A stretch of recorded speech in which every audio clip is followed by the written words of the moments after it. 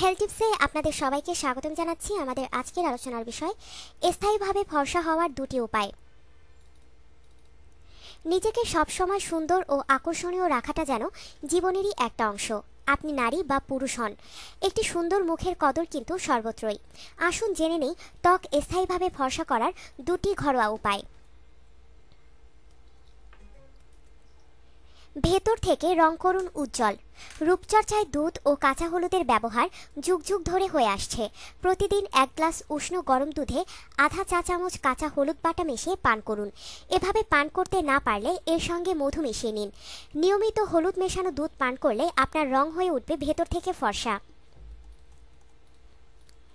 দুধে কাঁচা হলুদ বাটা না মিশিয়ে করতে পারেন আরেকটি কাজ দেড় ইঞ্চি সাইজের এক টুকরো হলুদ নিন। তারপর টুকরো করে কেটে এক গ্লাস দুধে দিয়ে ভালো করে ফুটিয়ে নিন। দুধে গাঢ় হলুদ রং ধরলে পান করুন। এভাবে প্রতিদিন একবার পান করবেন।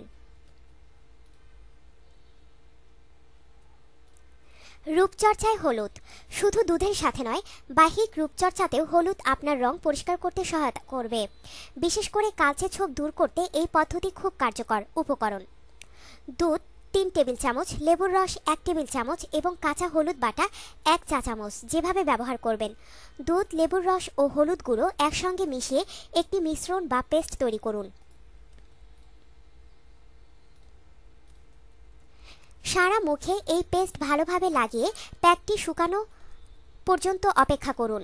শুকিয়ে গেলে ঠান্ডা জল দিয়ে পরিষ্কার করে ধুয়ে নিয়ে নরম তোয়ালে দিয়ে আলতো করে মুছে নিন। গরম জলে মুখ ধোবেন না এবং অন্তত বারো ঘণ্টা রোদে যাবেন না।